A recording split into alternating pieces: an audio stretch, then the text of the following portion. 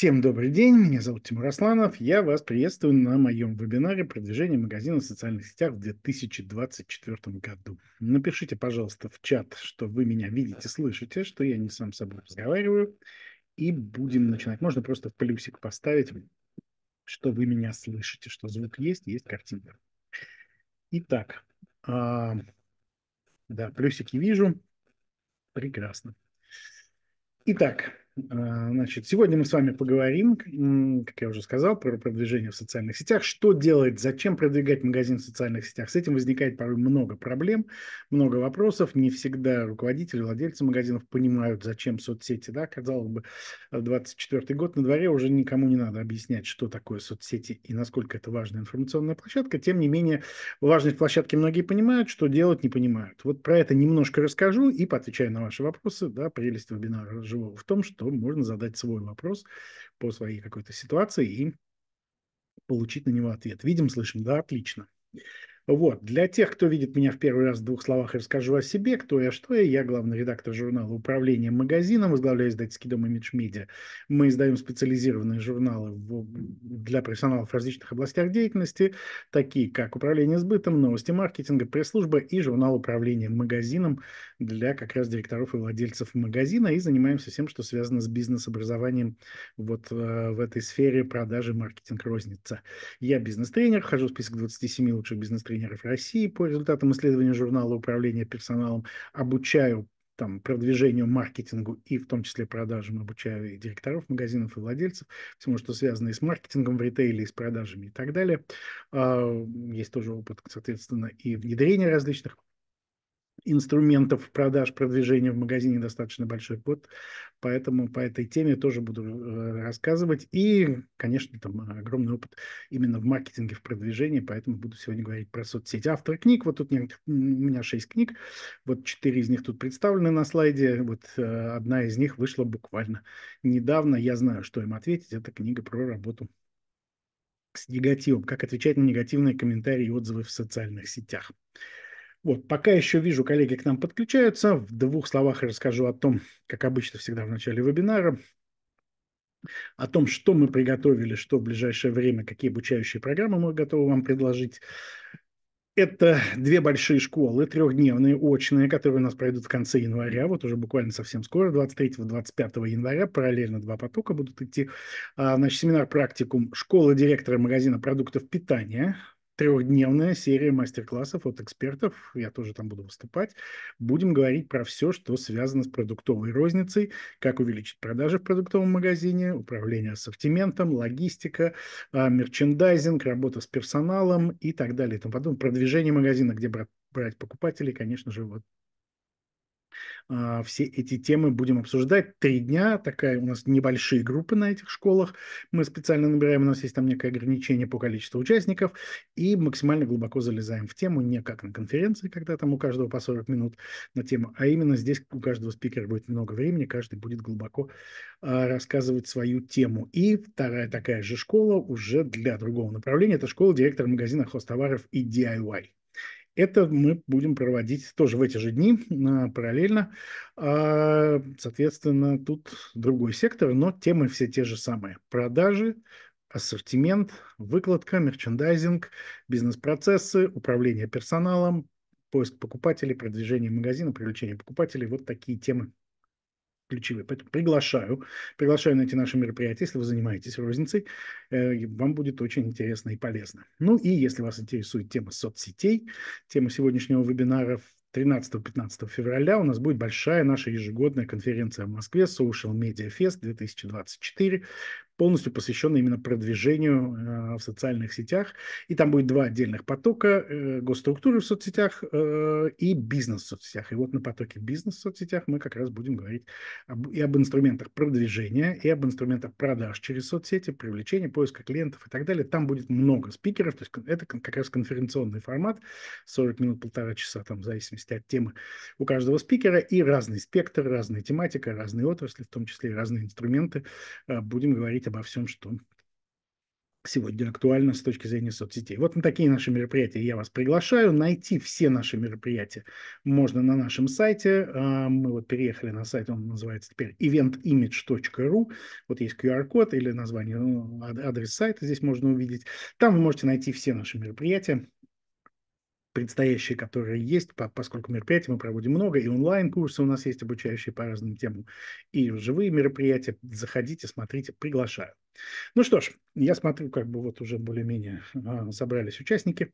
Можем приступать непосредственно к основной теме. Итак, как я уже сказал, расскажу какие-то вещи, а, такие важные, ключевые, на мой взгляд, что, на что сегодня обращать внимание и что делать в соцсетях, и потом поотвечаю на ваши вопросы, поэтому вопросы готовьте. Вопросы можно писать в чат как по ходу а, наши, нашего вебинара, так и в конце. Да? То есть, если у меня будет получаться, я буду отвечать по ходу, а вы пишите, чтобы не забыть вопрос, или если он будет по ходу того, что я говорю, будет касаться того, что я говорю в данный момент, либо в конце я поотвечаю на эти вопросы, поэтому вопросы пишите будем обсуждать. Итак, ну вот, как я всегда говорю, с чего, как обычно строится работа магазина в социальных сетях. То, с чем я сталкиваюсь постоянно, я очень много консультирую э, владельцев магазинов, директоров магазинов, помогаю развивать соцсети. Как это обычно происходит? Заводим страницу или группу во ВКонтакте. У всех есть, у нас должна быть. Многие слышали о том, что это полезно, почему бы этого не завести. Заводим. Что происходит дальше? Приглашаем туда всех друзей и знакомых. Часть из них даже заходит. Часть из них даже подписывается. Как мы понимаем, небольшая. Что дальше? Дальше нам становится стыдно, что у нас мало подписчиков, мы нагоняем туда ботов, да, ну не мы, понятно, люди некие, э, это так, ситуация, которую я вижу на рынке достаточно часто. Нагоняем ботов, чтобы было не стыдно за число подписчиков, да, ну, сразу говорю, спойлер, да, сразу, это очень плохо. Э, четвертое. Постим на странице или в группе активно рекламу товаров, информацию о продажах, распродажах, скидках и акциях. Да? То есть набиваем просто рекламным контентом, вот условно, да? примерно таким, да еще и со ссылкой на сайт, да, что пессимизирует ваш пост сразу же. Вот контент, да, вот некий стройхозмаг, да, посмотрите, весь контент его аккаунта ВКонтакте, собственно, из этого и состоит. Просто тупо реклама товара. Вот другой магазин, да, здесь они даже заморочились, стишок написали, да, смотрите, сделай шаг всего один, в наш хозмаг скорее зайди, здесь для дома все найдешь, ну так себе стишок, пена, клей, любой крепеж, трубы разные для вас, есть доставка под заказ, ведра, гайки, шланги, пленка, ждем вас Герцена 88, работаем ежедневно, ну то есть, то есть стишок то не стишок, все там со знаком препинания беда, и опять-таки, ну, непонятные, очень странные фотографии. И дальше что, ну, как бы происходит обычно в такой ситуации? Получаем 0 лайков, ну или один от э, того же, кто и писал. А пару случайных продаж, может быть, за несколько месяцев. Абсолютное отсутствие активности в аккаунте, абсолютное отсутствие роста подписчиков, какого-то более-менее заметного. Дальше что мы делаем? Принимаем что решение, что соцсети эти ваши не работают, да, ничего хорошего, они переоценены, да, и бросаем, закрываем, бросаем страницу. Вот это очень часто, с чем приходится сталкиваться, очень распространенное явление. А почему? А потому что ну, не, многие не понимают, как, зачем, да, зачем, во-первых, это делать, а во-вторых, ну, собственно, что, что нам даст подписчиков, что нам даст вовлечение. Вовлечение сегодня самое главное. Если мы говорим про тренды, да, в соцсетях количество подписчиков сегодня не играет роли. Да, под, накручивать подписчиков все умеют, но нам же нужны не накрученные подписчики, нам же нужно задачи, бизнес-задачи решать в соцсетях магазина. Накрученные подписчики нам не дадут э, возможности решать э, бизнес-задачи, потому что накрученные подписчики у нас ничего не купят. Да? Так вот, возвращаемся к разговору, а зачем? Зачем магазину социальные сети? Ну, на сегодняшний день, на мой взгляд, тоже уже ну, практически, наверное, ни для кого не секрет, что интернет и соци... в целом социальные сети в частности становятся вообще ключевой такой базовой площадкой информационный. Да, кто-то смотрит телевизор, кто-то читает газеты, безусловно, по-прежнему таких людей, тем не менее, достаточно, ну, все меньше и меньше, все больше людей э, пользуются основным каналом получения информации, это именно ну, интернетом как основным каналом получения информации, и в интернете находится в соцсетях. Это огромная площадка. Месячная аудитория ВКонтакте больше 80 миллионов. Да? 80 миллионов – это очень приличная цифра, если посмотреть, взять в целом население нашей страны, да, вычесть там совсем младенцев и глубоких стариков, как, кто не является активным пользователем, так это, в общем, основная ключевая часть взрослой вполне аудитории. Да, аудитория Телеграма поменьше, но приближается к этому. Это огромная аудитория, а значит, там есть люди, люди получают там информацию. Если нас там нет, информации о нас там нет, а значит, нас нет нигде, нас нет в ключевом канале коммуникации. Дальше в разговоре зачем поговорим о том, а какая аудитория нужна магазину. Вот зачем? А магазин, ну, как бы вот э, совершенно естественно. Если там много людей, там аудитория, нам нужно с этой аудиторией работать. Какая нам нужна аудитория? Часто еще какой, какая ошибка у многих, да, кто не очень близко в этой, не, не очень глубоко в этой теме, не очень близко с соцсетями работает. Думают, ну, в соцсетях там, во-первых, одни дети, или там, ну, там нет наших покупателей, особенно если у вас там дорогой какой-нибудь магазин или что-то еще. Там нет наших покупателей, серьезные люди там не сидят и так далее. Ну, во-первых, это все неправда. Сегодня там есть все. Во-вторых, давайте посмотрим, обсудим просто, а какая аудитория нужна вообще магазину? Да, то есть вот магазину, на кого нужно влиять магазин. Да? То есть, понятно, первое, что придет в голову, первое, что, наверное, вы не захотели ответить, это покупатели, потенциальные покупатели. Нам нужно привести людей, которые у нас будут что-то покупать. Это главная задача, безусловно. Для любого магазина это основа. Да? Нам нужно создать cash flow, а он создается под покупателями. Но не только на них нам нужно влиять. Да? Мы понимаем, во-первых, ну, потенциальные покупатели – раз – Дальше. Действующие покупатели, те, кто уже покупает. Мы хотим, чтобы они, а, продолжали покупать, оставаться нашим действующим покупателем, регулярно приходили в наш магазин. Б, мы хотим, чтобы они увеличивали сумму своей покупки, да, увеличивали средний чек. Лояльные покупатели обычно так и делают. Нам нужно их сделать лояльными. Лояльными мы их делаем, не, безусловно, в первую очередь качеством товара, качеством сервиса и ценообразованием, безусловно, но и в целом неким образом магазина, который мы выстраиваем. Неким как бы вот престижно-непрестижно в нашем магазине, насколько хочется прийти в наш магазин, насколько вот э, мы в тренде, насколько про нас слышно и видно, потому что магазин, про который мало кто знает, но вы туда ходите, там более-менее нормальные цены, а вот есть магазины, которые на слуху, например. И многие люди, для многих людей это важный фактор. Что еще? Бывшие покупатели – бывшие покупатели – это тоже такая достаточно интересная аудитория. Люди, которые у нас что-то покупали, но по какой-то причине перестали. Ходили, ходили в наш магазин или купили один раз и больше не пришли. Это важная аудитория, мы хотим ее вернуть, да, это вот, как правило, входит в бизнес-задачи любого, наверное, магазина, поэтому нам нужно на них влиять. А как до них достучаться? Позвонить им не всегда есть возможность. А вот если они увидят э, какую-то интересную, важную, э, ценную информацию про нас, от нас в социальных сетях, они вспомнят. И многие ведь не ходят к вам не потому, что вы их чем-то обидели, а кто-то просто, ну, вот забыл про вас, там, переключился на другой какой-то магазин. Там напомнить им о себе, найти повод их позвать к себе. Это очень важная часть вот этого вот возвращения клиентов. Соцсети здесь важный инструмент, безусловно. Следующая аудитория, которая нам нужна для того, чтобы магазин нормально существовал. Сотрудники – сотрудники нашего магазина. Нам нужно привлекать людей. Да? Нам нужно, во-первых, влиять на действующих сотрудников. А если магазин заметный, если про магазин говорят, обсуждают, обсуждают в хорошем ключе, сотрудникам нравится у нас работать. Сотрудникам не хочется уходить в no-name магазин, потому что работать в, в известном магазине гораздо интереснее, чем в магазине. Да, опять можно сказать, что все решает зарплата. но не все решает зарплата. Да, зарплата решает многое, но еще и другие важные факторы. Далее, потенциальные сотрудники, безусловно. Нам нужно набирать персонал, мы хотим набирать более качественный персонал. С персоналом беда сегодня у всех, во всех направлениях, во всей стране. Где брать персонал, как, чем их завлекать, как рассказать людям, которые еще у нас не работают, у нас не знают, что нужно к нам прийти. Это тоже, в общем, соцсети. Дальше, партнеры. Мы выстраиваем так или иначе какие-то бизнес-взаимоотношения, и э, наша задача создавать репутацию. Потому что с любой компанией, которая no-name, про которую мало что известно, люди боятся работать, не хотят работать, будут выставлять завышенные ценники, потому что непонятно вообще, чего от вас ожидать.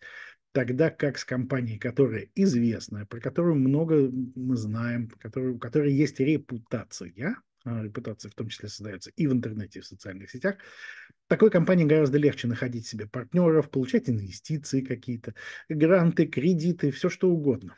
Да, и также подрядчики, люди, которым мы платим за то, что они делают нам какую-то работу, и поставщики, конечно же.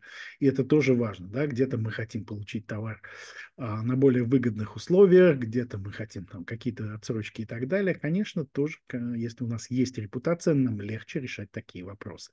Вот, на мой взгляд, можно дополнять, можно вычеркивать тех, кто конкретно вам не важен, но в целом вот эта ключевая аудитория магазину нужна, магазин с ней взаимодействует. Это стейкхолдеры, так называемые, да, в есть такой термин. Так вот, чтобы с ними работать, да, понятно, что со многими мы работаем и напрямую, безусловно, с инструментами маркетинга какого-то прямого.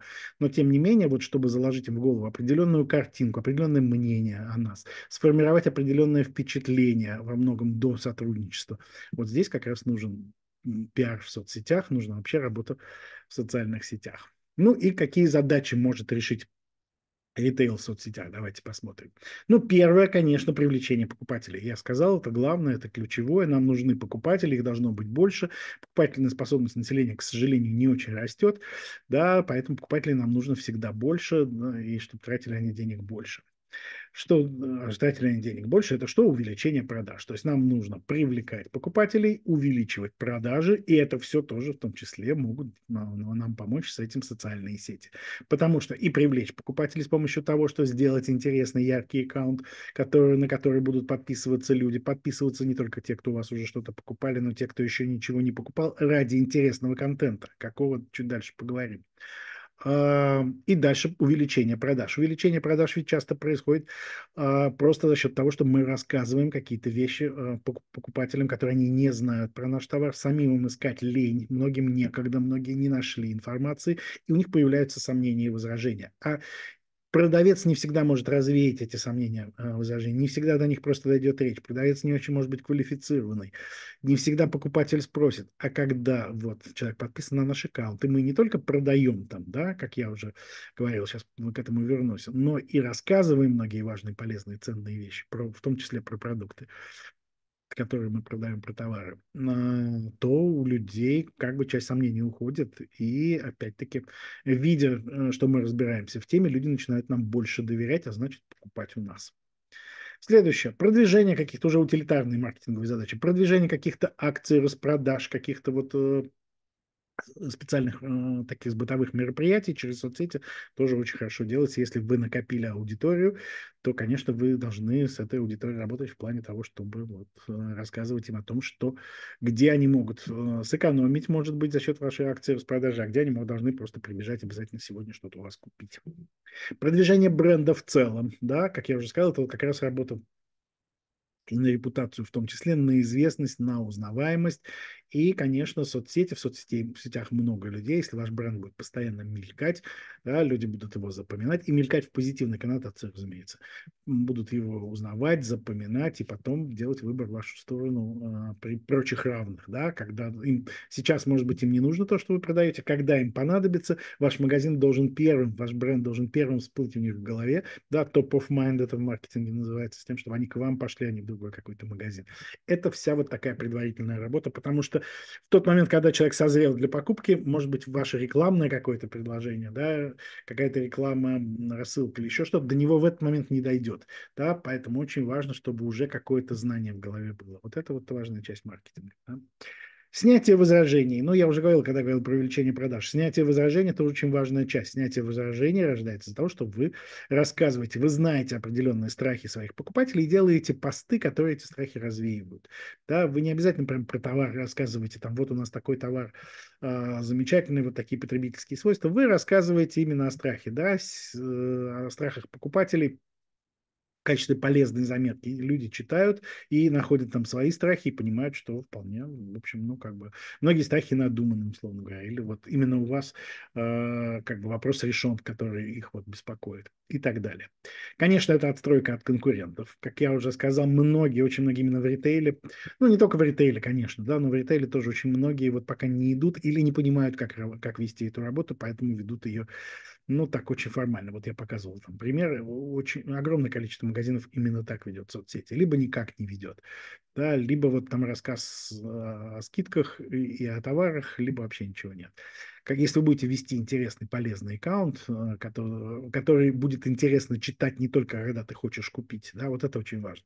Тогда, конечно, вы сильно отстроитесь от конкурентов. Здесь очень важно именно вот построение такого образа эксперта в теме да, и люди будут вам доверять и приходить. Потому что, ну, понятно, что если человеку нужно купить бутылку кефира, то ему не важно, эксперт вы в теме или не эксперт. А если вы продаете там строительное оборудование, строительные материалы, инструменты, еще что-то, электротехнику и, и так далее, людям важно понимать, что вы разбираетесь в том, что продаете, и придя в магазин, можно получить еще и помощь в выборе, да, консультацию, они просто вам впарят самое дорогое, тупо.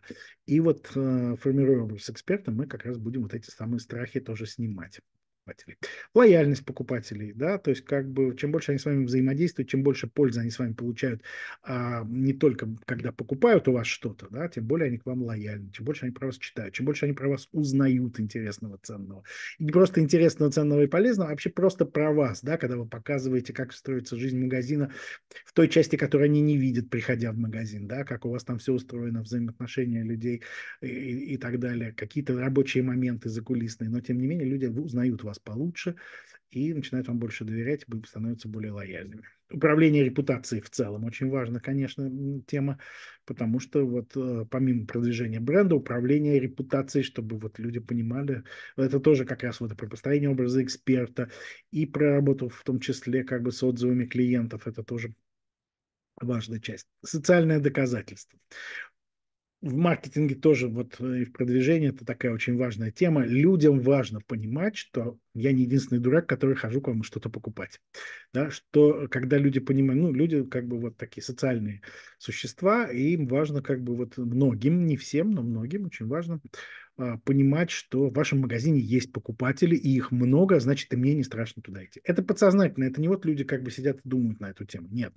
Но это подсознательно, когда они видят, что у вас есть покупатели, у вас клиенты, их много, и они часто возвращаются, они довольны, люди понимают, что к вам нужно идти. Поэтому социальное доказательство, чем именно через соцсети, через рассказ о своей деятельности, мы показываем, что вот у нас есть покупатели, что у нас клиентов много и не страшно с нами работать. HR-бренд, безусловно, мы говорили о том, что нам нужны люди, и люди, конечно, с большим удовольствием пойдут работать в компанию, у которой раскручен HR-бренд, о которой много известно, и известно в том числе не только о том, что компания продает такие, магазин продает такие-то товары, но и что там вот, что у них там с персоналом, какое отношение к персоналу, как вот строятся взаимоотношения внутри коллектива. Это тоже очень важная часть, да, с тем, чтобы привлекать людей, потому что, ну, тяжело найти квалифицированных продавцов, квалифицированных сотрудников сегодня вообще тяжело найти в магазине в частности, да, то есть людей много, работать не хотят. И поэтому вот э, облегчить себе поиск и удержание персонала вот можно тоже с помощью части работы в социальных сетях. Формирование сообщества тоже очень важная задача, которую, ну, если у вас там, например, не один, может быть, магазин, или там один, но достаточно большой, или у вас сеть магазинов, конечно, вам э, пригодится такой инструмент, как комьюнити менеджмент. Сформировать сообщество вокруг, э, сообщество вокруг магазина, вокруг товара сложно сформировать, но вокруг интересов покупателя, которые вот вы понимаете, которые в том числе как бы находятся в рамках вашей отрасли, которые вы э, работаете, сформировать там сообщество, дальше вы этому сообществу сможете продавать гораздо легче и гораздо лучше. То есть это сообщество вас защитит в случае каких-то атак, там, троллей и прочих. То есть это вот тоже такая важная, на мой взгляд, часть именно стратегической работы информационной для вообще бизнеса и для ритейла, в частности для ритейла это очень как бы важно. Именно сообщество. Сообщество не просто люди приходят что-то почитать, а чтобы люди там общались в этом сообществе, чтобы там задавали вопросы, получали ответы э, какие-то, или там сами давали уже друг другу ответы. Это высший как бы уже пилотаж комьюнити менеджмента. Поэтому вот я рекомендую очень там, к этому тоже присмотреться, если вы еще про это не думали. Ну и получение обратной связи. Соцсети, конечно же, это очень важный, хороший инструмент получения обратной связи от аудитории. Мы никогда не получим столько от ни от какого бизнес-консультанта информации о нашем бизнесе, сколько от вот клиента, который у нас что-то покупает, и, может быть, у него возникли проблемы, у него есть соображения, как нам сделать нашу работу лучше. Не факт, что мы всему будем верить и все сразу внедрять, но, тем не менее, вот получать эту обратную связь, реагировать, корректировать свой бизнес, улучшать свой бизнес, нам важно, а соцсети дают такую возможность очень хорошо. Вот. Ну и вот, да, возвращаясь к разговору про управление репутацией, конечно, это работа с отзывами и комментариями, в том числе не только в плане получения обратной связи, но и в плане нейтрализации негатива. Мы понимаем, что гадости пишут про всех. Я вот как раз книжку про это написал, как я уже говорил в начале. Гадости пишут в интернете про всех, гадости пишут много, и это могут быть недовольные покупатели, у которых что-то пошло не так с товаром или с обслуживанием. Это могут быть люди, которые, ну, может быть, вашей вины нет, но они считают, что что-то пошло не так.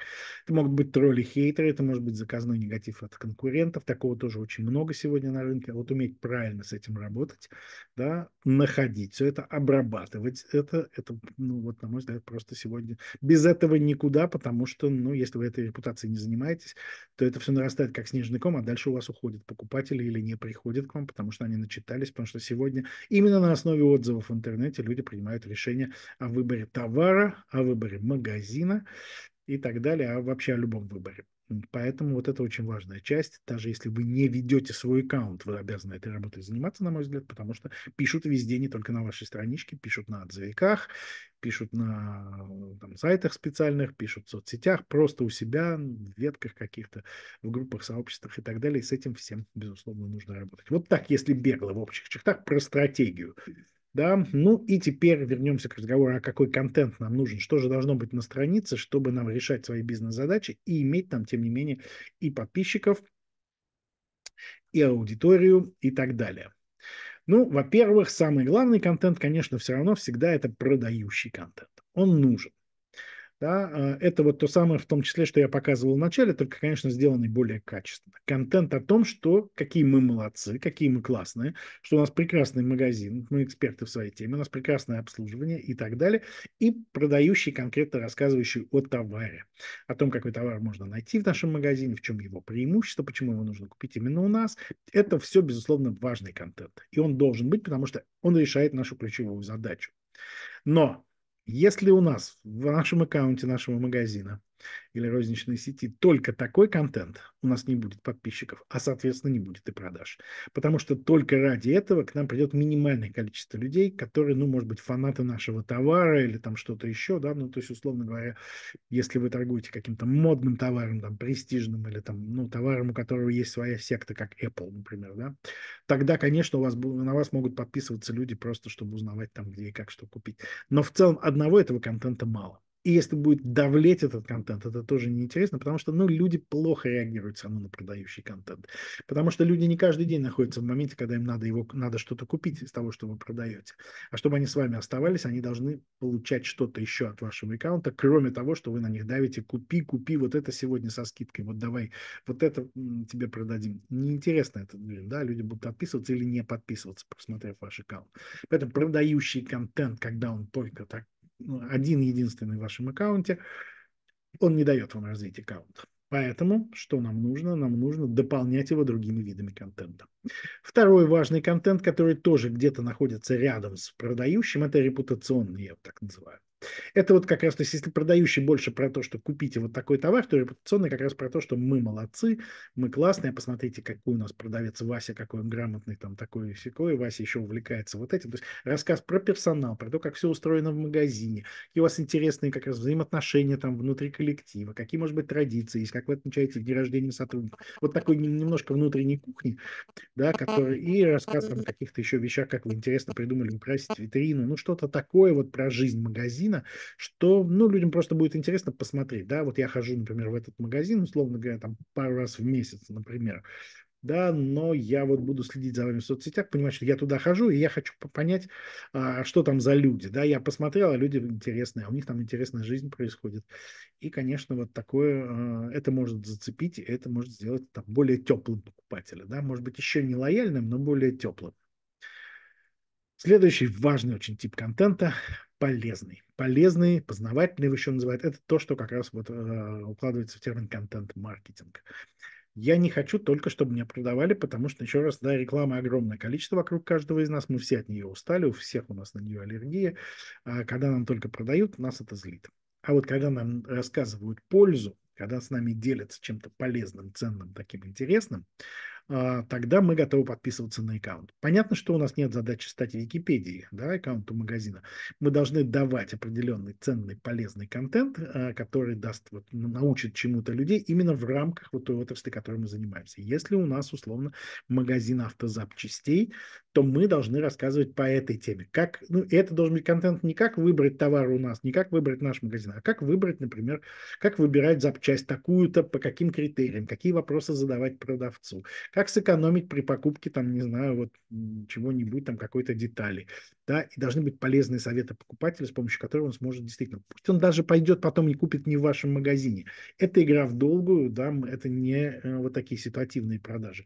Мы помогаем, мы рассказываем, и человек, получая от нас пользу, даже еще, может быть, ничего у нас не купив, проникается к нам симпатией неизбежно. Потому что если человек автолюбитель, условно говоря, а здесь, ну, это меняем на любую отрасль э, вполне, ну, кроме вот, да, на любую практически, да, если человек автолюбитель, и он в теме, ему интересно, он нашел ваш аккаунт, понимает, что у вас регулярно появляются полезные статьи на какую-то тематику автомобильную, тематику запчастей и так далее, он будет подписан. А дальше уже где-то вы ему потом что-то продадите через продающий контент. Если человек там, хозяин, у вас хозяйственный магазин, и вы торгуете хозтоварами, а человек хозяйственный что-то делает руками по дому, ему, конечно, будет интересно получать от вас периодически полезные советы, как там плитку правильно выложить, как проводку где-то провести, как теплый пол, может быть, самому сделать. И потом он к вам же побежит за ингредиентами, за деталями, за э, стройматериалами и так далее. То же самое, даже если у вас магазин продуктовый, то так или иначе часть вашей аудитории просто тупо покупает себе там буханку хлеба и банку майонеза, а кто-то готовит дома, готовит активно и каким-то полезным рецептом и интересным каким-то моментом, лайфхаком в плане приготовления еды, хранения еды, выбора еды и так далее, а, будет вам полезен, он будет вам благодарен за такой полезный контент, и этим самым вы тоже их привлечете и сделаете теплым клиентом который потом будет приходить скорее к вам, потому что, ну, с вами интересно. И таким образом, вот это тоже должно быть, это не, тоже не должно быть 100% вашего контента, вам нужно продавать, а не только давать пользу, но это должно быть занимать немаленькую часть вашего контента, на мой взгляд. Безусловно, нам нужен также и развлекательный контент. Люди в соцсети приходят в том числе не только что-то серьезное почитать или не только что-то купить, но и как-то вот поднять себе настроение, особенно вот ну, с в последние годы, как мы понимаем, все нелегко, многих людей много плохих новостей, там много всяких катаклизмов в жизни происходит, поднять настроение людям, дать им какое-то развлечение, развлекательное, но тоже, опять-таки, конечно, в рамках а, своей тематики, да, как я всегда говорю, не просто котик, да, котиков в соцсетях полно. Если у нас ритейл, то котик на полке нашего магазина, на прилавке, в витрине и так далее. Каким-то... Я утрирую сейчас, не надо думать, что вот прям именно так, но в том числе да, развлекательный какой-то контент, какие-то актуальные мемы, опять-таки, с вашей тематикой, с вашим брендом, какие-то обсуждения, может быть, там обсуждение каких-то новостей интересных, развлекательного характера, да, как-то опять-таки вот адаптируя это к своей тематике. То есть должен быть развлекательный контент, заставить человека улыбнуться, заставить человека испытать какую-то теплую эмоцию, просто вот поделиться настроением каким-то интересным. Это тоже важная часть для того, чтобы удержать. Человек будет понимать, что он еще и за этим к вам приходит, потому что вы там ему дарите вот такие вещи, это ценно.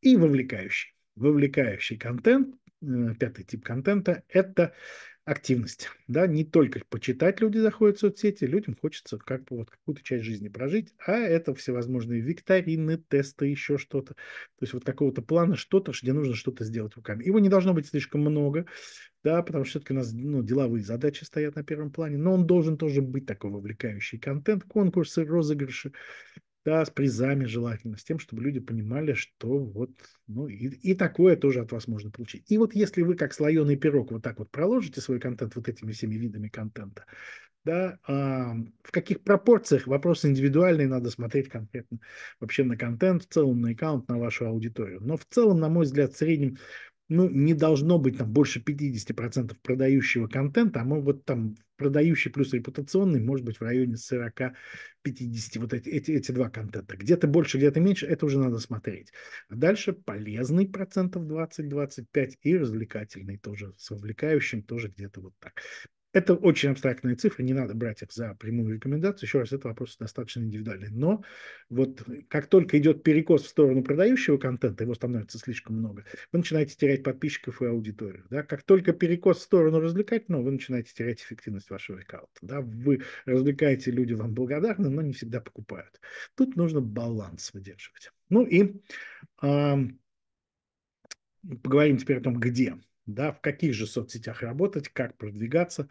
Uh, так вкратце, да, я, опять-таки, понятно, что основные соцсети так или иначе всем известны, uh, часть из них там некоторое время назад стали запрещенными в Российской Федерации, но при этом выходило постановление уточнения суда, что не запрещено их использовать физическим там лицам и в том числе компаниям, поэтому это решать вам, где конкретно ну, работать с этими соцсетями или нет. Я не буду тут давать никаких прямых рекомендаций.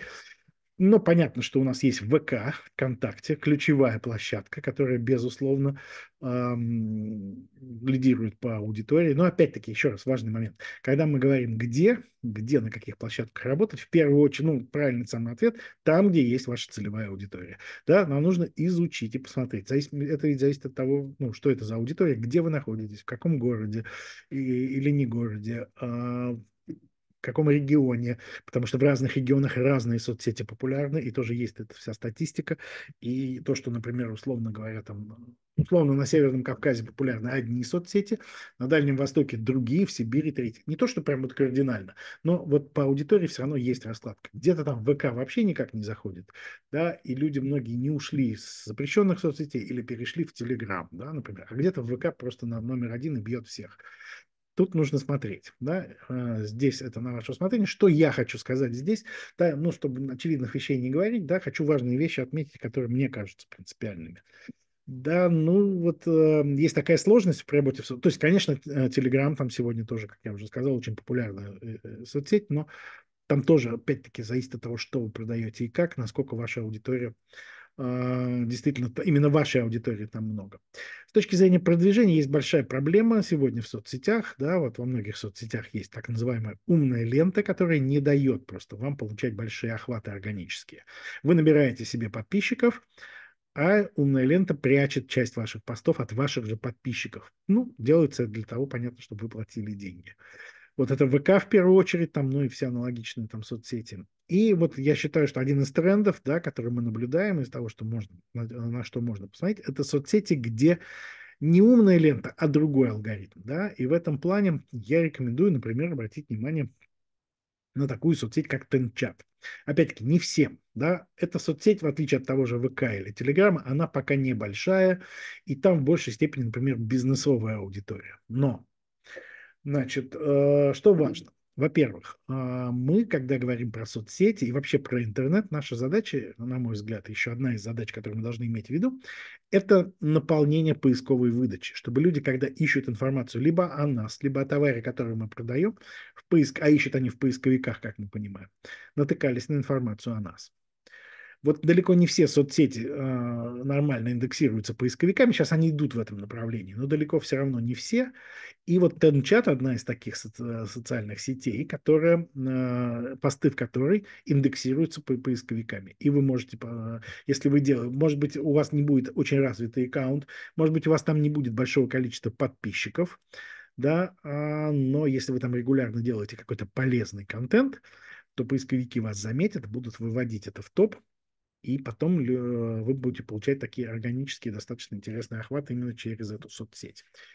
Чем еще она интересна и что еще в этой связи, да, хотел поговорить. Вот а, помимо умной ленты, которая как бы ограничивает вашу, ваши охваты, она отбирает э, какое-то количество вашего контента, ну, от, отбирает какое-то количество ваших подписчиков, которым показывает контент, а большинства скрывает. Да, то есть вот э, самый, интерес, самый интересный формат контента, на мой взгляд, формат именно организации контента в соцсетях, это рекомендательный алгоритм да, когда социальная сеть работает по принципу не ограничить вас, а наоборот дать вам больше охватов. И э, вот у некоторых социальных сетей это есть, это дает вам возможность выходить на аудиторию бесплатно ну, которой у вас нет доступа, да, то есть, ну, если классическая схема, вы набрали количество подписчиков, им показываете контент, да, как мы выяснили, даже и с этим есть проблемы. А здесь вы делаете полезный контент, а соцсеть показывает его э, тем, кому он может быть интересен. Ну, робот ориентируется на интересы определенной аудитории, анализирует ваш материал и показывает тем, кому он может быть интересен людям, про которых вообще можете не знать, да, просто всем, кто есть на этой площадке. Не всем, не всей аудитории, а именно отбирая ее. И дает вам при этом большие достаточно охваты. Вот в том числе Тенчат интересен этим. У них есть два алгоритма. Первый алгоритм – это Афина. Он как раз помогает вам попасть в поисковую выдачу. А если ваш контент Афина считает полезным, Афина, ну, тоже, это тоже робот, да, но если он считает полезным этот контент, он начинает его индексировать и в поисковиках продвигать. А, есть второй алгоритм, а, называется Zevs. А вот Zevs как раз помогает вам продвигаться на площадке TenChat. И вот я не так давно занимаюсь этой соцсетью, но она вот, это, вот этими двумя инструментами мне очень нравится. Там, опять-таки, можно получать охваты. Вот посмотрите, у меня немного подписчиков. Да? Сейчас там немножко выросла цифра, но все равно там сейчас за тысячу перевалило, но а, там некоторое время назад и тысячи-то не было. Но да, мои посты, те, которые кажутся алгоритму полезными, начинают набирать, смотрите, 5 тысяч прочитываний, 10 тысяч прочитываний. Это, ну, ни, в каком ВК вы просто так, придя с нуля, заведя новый аккаунт, никогда таких охватов не получите. Уж не говоря про то, что попасть в поисковую выдачу. Да, просто вот, э, то есть вот если вы смотрите, вот на этом слайде видно, что около моей фамилии стоит такая молния. На нее наводишь, курсор, и там высвечивается Зевс и Афина рекомендуют. Это значит, что обоим алгоритмам понравилась эта статья. Может быть, только Афина рекомендует, может Зевс, а может не стоять никакой молнии, если ваш материал не полезный, никому не понравился. Так вот, благодаря этому я набираю достаточно большие охваты, мои публикации набирают и в социальной сети Тенчат. Конкретно в социальной сети Тенчат может не быть ваших покупателей, могут быть, это еще раз, да, тут нужно смотреть конкретно, что вы продаете, где, в каком регионе. Но второй алгоритм может вывести вас в поисковики, а там все. Поэтому вот одна из таких площадок, на которую я рекомендую обратить внимание. С этой точки зрения интересна тоже площадка такая, как Дзен. Да, бывший Яндекс Дзен, теперь просто Дзен, там тоже рекомендательный алгоритм. Если вы ведете там блог, если вы ведете там полезный какой-то блог, да, прода продающим каким-то контентом вы там не взлетите, понятно, без денег. А если вы ведете полезный блог, да, вот эту часть полезную, которую вы публикуете в соцсетях, дублируете, например, в Дзен, то вполне возможно, что вот э, Дзен, во-первых, публикации из Дзена очень хорошо индексируются тоже поисковиками, а во-вторых, там тоже работают рекомендательные алгоритмы, которые могут просто налить вам трафика. Поэтому я рекомендую на эту площадку тоже обратить внимание. А, не вот прям сию секунду с нее прибегут покупатели, нет. Но это такая вот работа, которую нужно делать шаг за шагом, месяц за месяцем, может быть, год за годом. Но это все наращивается, наращивается, и в итоге поисковая выдача наполняется, и информация о вас наполняется интернет. Ну и, конечно, сегодня нельзя не поговорить, если говорить про инструменты, нельзя не поговорить про короткие вертикальные видео. Это тренд трендов, который вот очень мощно развивается все последние годы и будет развиваться в 2024 году тоже очень максимально активно. Это Почему он, опять-таки, такой популярный? Ну, во-первых, очень вот этот короткий формат контента сам по себе популярен. Людям нравится, когда короткая информация, быстро можно свайпнуть, дальше пойти и так далее. И вот, во-вторых, видео, видеоконтент вообще в тренде, да, а тем более короткий. И в-третьих, потому что на всех площадках, где есть э, вертикальные короткие видео, работает тот же самый алгоритм рекомендательный. И тоже вы можете прийти с нулем подписчиков, но через какое-то время получить достаточно большие охваты, которые вот, э, это вам принесет просто за счет того, что вы делаете полезный, ценный, интересный контент. А там это работает э, прям вот вообще в лед. Самая лучшая с этой точки зрения площадка это, конечно же, TikTok, но тут вот, к сожалению, для россиян вход туда закрыт на сегодняшний день. Они заблокировали возможность россиянам продвигать там какой-то контент э, и, и так далее, ограничили. А, непонятно, когда это все закончится. То есть, если ваша аудитория, если вы работаете только на территории Российской Федерации, то вам там делать нечего, просто вам не дадут. Да, она не запрещена, не заблокирована, в э, Роскомнадзора нет к ней претензий, она сама с нами так поступила. Но если ваша аудитория, где есть ваши покупатели, например, находится в Казахстане, в Беларуси, где-то еще в СНГ, то вполне возможно, что TikTok вам будет полезен, потому что там самый лучший алгоритм. Вторая площадка, так если говорить по популярности и по интересности с этой точки зрения, это Reels. Reels – это запрещенный Инстаграм, да, который относится к мете, который признан экстремистской в Российской Федерации. Если вы считаете для себя возможным там работать, там тоже это можно делать, если вы ведете активно а, там свой аккаунт. Третья площадка – YouTube Shorts. Это в YouTube те же самые короткие вертикальные видео. Они длятся минуту, да, только в ТикТоке 3 минуты, во всех остальных площадках они длятся минуту, да, это ограничение. Но за эту минуту очень многие относились всегда предвзято к, к этому формату. Многие считали, а, ТикТок это для подростков, они там песни поют, кривляются под музыку. Все давно уже не так, да, уже несколько лет последних. Там и образовательный контент, и бизнес-контент, и политический контент, какого только нет. И очень взрослая аудитория, как это вот не покажется странным. Поэтому вот я рекомендую присматриваться активно к этому формату. ВК-клипы, да, в рамках ВК тоже есть формат. Дзен-ролики, ну, Япи это такая социальная сеть, а, ну, ее Газпром Медиа сделал в 2021 году, но она, по-моему, не полетела, да, то есть там, ну, как-то вот все сложнее с алгоритмами просто. А, вот Остальные я рекомендую просто присмотреться в зависимости от того, значит, чем вы готовы, ну, на каких площадках вы готовы работать. Но YouTube Shorts, пока вот YouTube у нас а, активно работает в стране, тоже очень хорошая площадка в этом плане. У меня прямо, ну, то есть вот э, там, конечно, есть свои хитрости и свои тонкости, да, э, которые нужно освоить. Там не все просто так, но если вы освоили, у вас контент может полететь. У меня топовый ролик в ТикТоке, да, я в ТикТоке работаю, потому что у меня есть аудитория, э, как бы и в СНГ топовый ролик в ТикТоке без промоушена финансового какого-то, просто за счет контента набрал 739 тысяч просмотров. Это дофига, да? А у меня, я не как бы не поп-звезда, я не пою песни, я рассказываю тоже вот такие вещи. У меня там образовательный контент.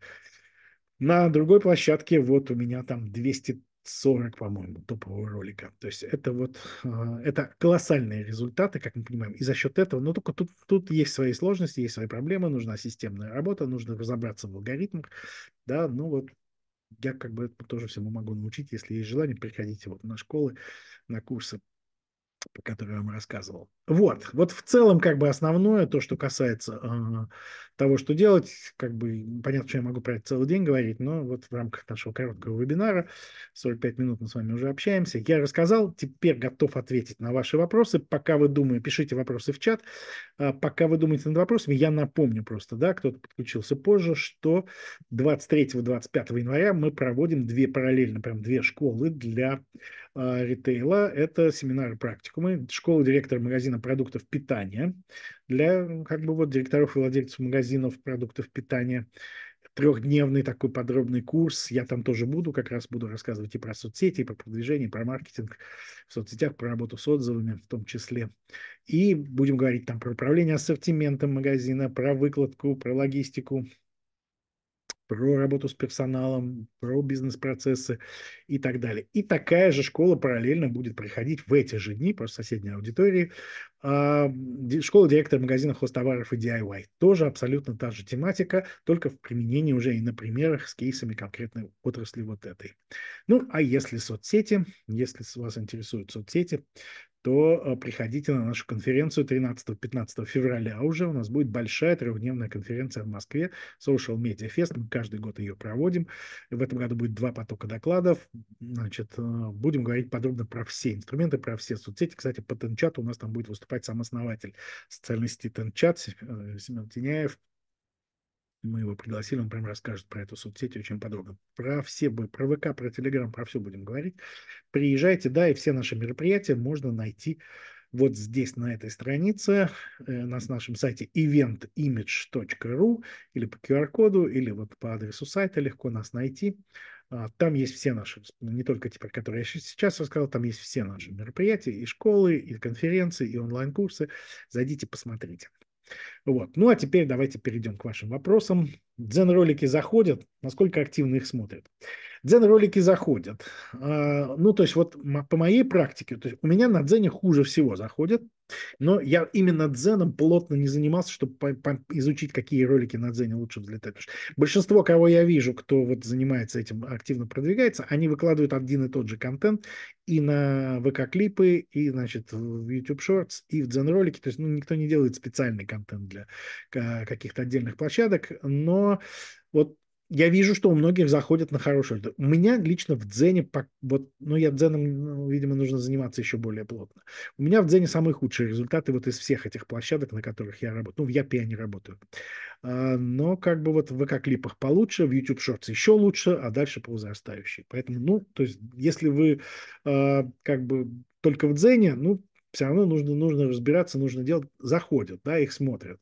Но там как бы вот YouTube более такая площадка в этом плане интересная, на мой взгляд, с точки зрения именно аудитории, алгоритмов. Все-таки алгоритмы у YouTube более такие прошаренные. Добрый день, подскажите, пожалуйста, как вы считаете, нужно ли маркировать посты магазину с подборками товаров, продающихся в магазине, с ценами в собственных соцсетях? Значит, сложный такой момент, однозначно, ну, как бы вот сказать, я не юрист, поэтому однозначно сказать не могу, но насколько я знаю, мы сейчас этой темой тоже плотно занимаемся, потому что, конечно, на всех это свалилось, этот закон о рекламе, и как бы, ну, вопрос не в том, что закон свалился, а в том, что очень много непонятного в законе. Насколько я понимаю, это попадает под категорию саморекламы и не требует э, маркировки. Но вам лучше все-таки у юриста спросить, потому что, ну вот мы не маркируем посты, которые, например, мы делаем с продвижением наших мероприятий. Да? Когда мы кого-то рекламируем, тогда мы ставим маркировку, там какие-то коллаборации, еще что-то. А когда это вот там реклама нашей конференции, например, мы не маркируем, мы считаем, что это самореклама, это вполне попадает под категорию саморекламы, потому что, ну, странно маркировать саморекламу, с кем самим собой договор заключать. Нет. То есть я считаю, что не, мы не должны такое маркировать. Еще, пожалуйста, вопросы. Что, может быть, хотелось бы узнать, с чем, а, про какие инструменты и про, про работу. Я так бегло рассказал какие-то важные вещи, понятно? То есть вот на, на школу я буду рассказывать уже с примерами, с конкретными, с кейсами по каждой отрасли, по продуктам, по хостоварам. Как вы считаете, нужно ли писать цены в Reels о товаре? Ну, э, так вот однозначно, конечно, здесь сложно сказать. Здесь зависит от того, какой Reels. Да? То есть, если цель Reels э, продать товар, и у вас просто вот рекламный такой Reels, то, конечно, надо писать цену. Да? Если Reels продвигает товар в целом как некий образ, как нек, ну, задача, потому что ну, рекламный Reels не залетит. Да? Вы должны понимать, что Reels залетит, если он содержит какую-то пользу. Если вы, например, какое-то сравнение делаете, или вы рассказываете о том, что вот как сэкономить, например, при покупке такого-то товара, то можно сказать, что он, э, в ролике, что у нас этот товар продается по такой-то цене. Можно на экран просто цену вывести. То есть, если у вас цена конкурентоспособная, цена это ваша фишка, то, конечно, я бы делал. Да, но в целом я бы не концентрировался на этом, потому что не взлетает такое. Взлетает польза, взлетает эмоция. Цены, ну, это вот с этим уже сложнее. Но есть ситуации, когда надо, да, как я уже сказал. Можете, пожалуйста, дать несколько советов публикации шортс на YouTube, как работает алгоритм YouTube? Да, могу. Значит, смотрите, что здесь важно. Алгоритм YouTube смотрит, э, то есть как, как обычно это все происходит. Вы выложили ролик, робот э, берет его и показывает, делает пробный посев на определенную аудиторию, смотрит, заходит, не заходит. Если заходит, начинает показывать больше аудитории. Если продолжает заходить, еще больше. Как он смотрит, что заходит, не заходит? Для него самое главное – это, ну, одно из самых главных, это досмотр до конца. Наверное, самое главное – досмотр. Сколько человек досмотрел ролик до конца. Если его быстро бросают смотреть, значит, э, ролик неценный, делает вывод алгоритм и не дает вам трафик. Поэтому первое и главное, чтобы досмотрели до конца. Ну, давайте подумаем, а что может помочь нам э, сделать так, чтобы ролик досмотрели до конца. Какая-то интрига цепляющая, чтобы в конце только обязательно ее раскрыть, иначе тут ну, будут дизлайки, там еще что-то. Ну, там, по-моему, нет дизлайков, ну, неважно. То есть больше не будут вас смотреть. Какая-то интересная интрига в конце, чтобы человеку хотелось понять, а что же, чем же вы закончите. Что еще? Очень хорошо работает такая вот технология, как списки. Она работает вообще в соцсетях прекрасно, а в, в этих роликах тоже. Ну, например, 7 способов там, сэкономить при ремонте квартиры. И даже если у вас третий, четвертый способ будут не очень интересны, большинство людей досмотрит до конца, потому что ну, это как вот завершить дело, да, то есть, ну, вот 7, я 7 посмотрю. И люди там досматривают такие ролики гораздо чаще, чем ролики, у которых нет такой структуры. Ну, вот как примеры просто. Ну, и не обязательно делать ролик минуту. Если вы сделаете ролик 30 секунд наполненной пользой, его досмотрит большее количество людей. Второе, что важно, да, и на что обращает внимание алгоритм, как это ни странно, повторные просмотры. А, во-первых, да, повторный просмотр, чтобы человек посмотрел ролик и захотел его еще раз посмотреть. Это тоже, есть тоже свои инструменты, как это сделать, а, потому что если он не свайпнет, он ему автоматом будет показываться. Некоторые делают так, что непонятно, когда заканчивается ролик и начинается его повтор. Да, и ты уже на середине повтора понимаешь, блин, я уже второй раз это смотрю. Ну, это такая структура, там много нюансов. А, вот. Либо нужно, чтобы человек понял, что ролик полезный, но и сразу вот из этого минутного просмотра не понял, как бы, ну, всю пользу не смог извлечь, тогда он вынужден будет пересмотреть. Это тоже такое, да, увеличит количество, соответственно, аудитории вашей. Вот. Следующее, э, когда вы ставите ролик на паузу. Вот это, как ни странно, тоже алгоритму нравится, да, а, потому что ему кажется, что значит что-то полезное вы там для себя извлекаете, расставите ролик на паузу, хотя могли просто поставить на ролик на паузу, потому что отвлеклись. Тем не менее, да, а что нужно сделать, чтобы ролик на паузу ставили? Как вы думаете? Вывести на экран какой-нибудь текст очень полезный, но который невозможно быстро посмотреть. Человек поставит на паузу и посмотрит а алгоритм себе поймет, ага, ролик полезный, и покажет его еще большему количеству людей. Вот, ну, конечно, комментарии лайки э, играют роль, но не такую, как вот эти вот все предыдущие моменты, о которых я говорил. Трендовая музыка, трендовые хэштеги тоже работают. Вот хэштеги мало где сейчас работают, трендовые хэштеги, если ими только не злоупотреблять, здесь тоже будут работать. Ну, вот так, если вкратце, да, понятно, что в рамках вебинара тут э, сложно там, более глубоко в это залезать, но вот так коротко, если, то примерно. Пожалуйста, еще вопросы. Нам уже пора заканчивать. Давайте еще пару вопросов. Если у вас вопросов нет, напишите просто мне в чат, а, что ценного полезного взяли для себя из сегодняшнего вебинара, чем он был полезен. В ВК-клипах схожие алгоритмы, да, Кристина, а, они похожи. Просто, ну вот как-то у Фейсбука, у запрещенного Инстаграма и у ТикТока они более такие как бы развитые, что ли, они более как-то интересно сделаны. Но ВК тоже догоняет, ВК активно этим занимается, поэтому, ну, как бы ВК тоже, в принципе, э, принципы, приемы все те же. Вот, и аудитория там тоже есть, она большая. Давайте еще вопросы. Ну, еще раз, у кого вопросов нет, напишите, что ценного, полезного взяли для себя. Ну, на какие основные показатели стоит сфокусироваться собственнику при анализе работы специалиста SMM? Хороший вопрос. Значит, э, ну, во-первых, да, да, как бы вот очень много, частая ошибка, это ориентироваться на количество подписчиков. Да, это ну, уже все, все, те времена прошли, когда это было важно. То есть понятно, что если у вас два подписчика, это печаль.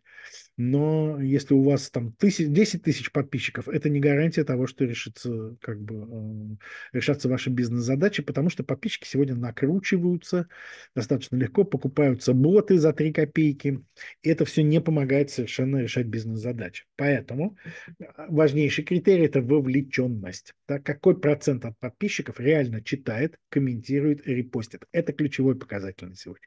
Это показатель того, насколько аудитория живая. При этом не обязательно, а, что, как бы, если у вас низкая вовлеченность, не обязательно, что у вас все боты. Может быть, человек подписался, но контент ему не интересен текущий. Да? Вы как-то его не вовлекаете, ничем не цепляете. Тоже такой момент, да, про это нужно думать. Поэтому вот вовлеченность, безусловно, да, это самое главное. Охват и вовлеченность, да, не количество подписчиков, а вот именно как, какое количество э, людей реально с контентом взаимодействует. Ну, а дальше вот посмотреть, какие основные показатели. Это вот, ну, насколько разнообразный контент, интересный, ценный, посмотреть на тексты, да, то есть вот это важно. Но в первую очередь, ну, вот наша задача увеличивать количество вовлеченных подписчиков. Вот это вот ключевой критерий. А так, конечно, там много разных. Ну что ж, давайте финалить тогда. Да, еще раз напишите, если нет вопросов у вас, напишите просто мне обратную связь по вебинару, что показалось ценным, полезным. А мы будем на этом заканчивать. Если да, хотите больше информации какой-то, можно подписаться на мой телеграм-канал. А, там я в ежедневном режиме тоже делюсь постоянно пользой, какими-то публикациями, какими-то инструментами, рассказываю, выкладываю и видео тоже. То есть вот черпать контент можно в бесплатном формате еще и там. Ну и приезжайте на наши мероприятия, конечно же. То есть мы много всего проводим такого интересного и в плане тренингов, и в плане конференций. Это тоже. Ну что ж, спасибо большое. Я тогда камеру выключу. Чат некоторое время выключать не буду, чтобы вы могли написать мне обратную связь. Спасибо большое. Удачи. Всего доброго. Пока.